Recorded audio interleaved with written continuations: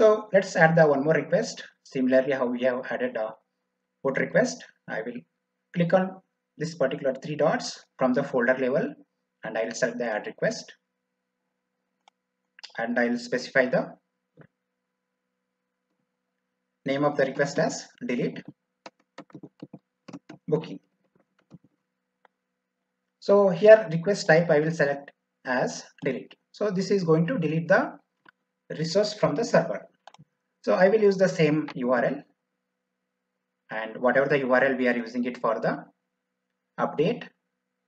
So this is the same URL. You, you might be seeing the same URL, right? So restful hyphen booker.herokuapp.com then followed by booking. Then we are specifying the, so here we have to say which booking ID you want to delete it, right? So we have to specify the booking ID over here. And let's add the headers. So same headers we have to add it, whichever we have added into the put API for updating the resource in the server. So here you can add the content type as the application slash JSON. Then I'll add the one more attribute that is uh, cookies data. And here I'll specify the token equal to some value.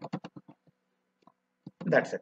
So no need to specify the body here because we are going to directly delete this particular booking ID, right?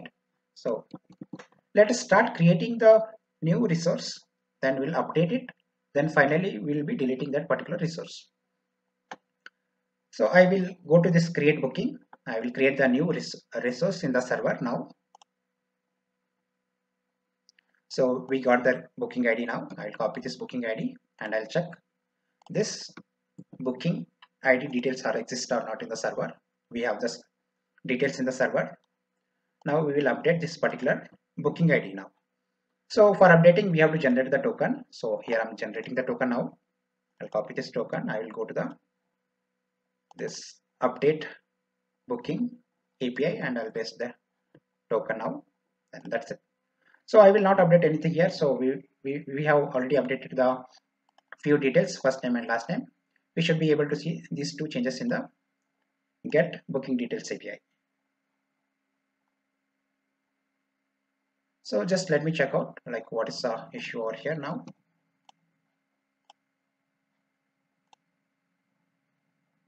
So let me create another request now. So we got the booking ID now. I will check whether booking details are present or not in the server. So we have the booking details present in the server. I will go to the update booking API. I'll add the booking ID here then I will quickly generate the token. I'll copy this particular token now. I'll go to the update booking I'll paste it here. Then I will send it. So we got the successful success uh, status code and all the details got updated. Uh, we will check quickly get booking details. So details got updated properly. So let's use the let's perform the delete operation also so we have to specify the only booking ID and the token. So here I'll specify the token and I will copy this particular booking ID. I'll come to the delete booking and I'll specify it here. So that's it. So here we are seeing the 201 created. For the update, so we are seeing the 200 response code, uh, status code, sorry. And for the delete request, we are seeing the 201 created.